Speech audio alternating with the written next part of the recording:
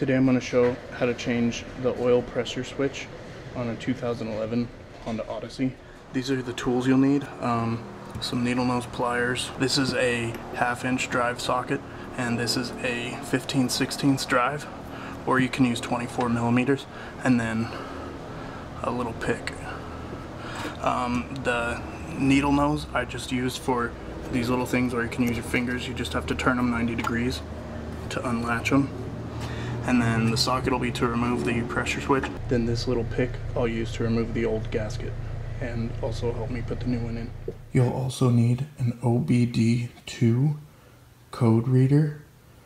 I believe I purchased this one at an auto parts store for about $50. You can find them online or also many auto parts stores will loan them to you. This plugs in right over here. My check engine light's on. And if I go to my code reader, it's giving me error code P3400. First you want to remove these two clips. You just turn them. And they come right out. This just pops off.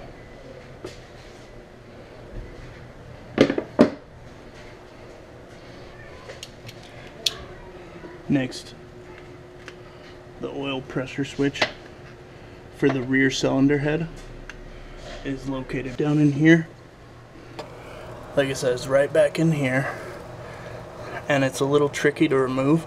There's a, a little clip you have to push in. I'll try and show you here. Hopefully it'll stay lit up well enough.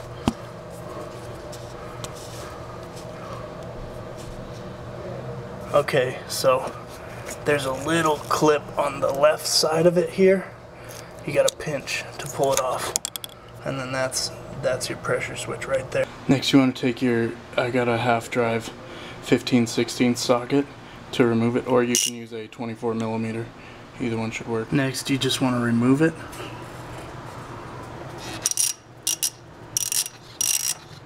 This is the old one. If you'll notice there's no gasket on it, you got to make sure the old gasket is removed before you put the new one on. So as you can see in there, the old gasket is stuck in there. So I'm just going to gently remove it and replace it. Here's the old gasket. This is the part I ordered on Amazon.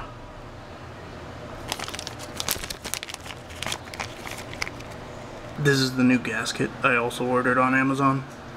That's the new gasket in now you want to make sure it's properly seated. Next you take your new one and put it in. And I'll just snug it up. Then just plug it back in. Then just put the cover back on. You just want to make sure those back two points hook in. They just push in. Then these ones you'll just twist it to the right 90 degrees and it'll be latched. Next you want to reset your check engine light with just a code reader